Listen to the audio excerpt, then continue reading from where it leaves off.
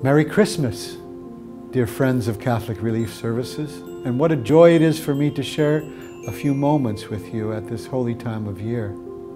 As chairman of the board of Catholic Relief Services, I've been so fortunate to travel the world in your name and to see how your generosity transforms lives in so many ways.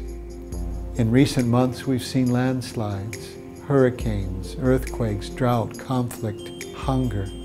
But I am reminded of the great hope we have in Christ Jesus.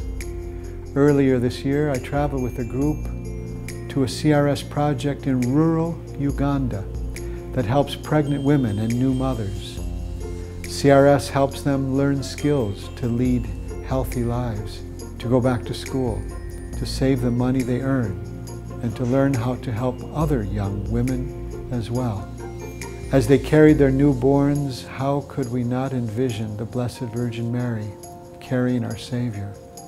We are your ambassadors, but you were there too. Your generosity and compassion were there with us as we witnessed this celebration of life.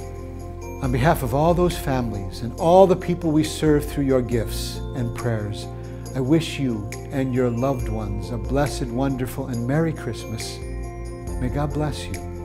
Thank you for making this world a little better by helping CRS.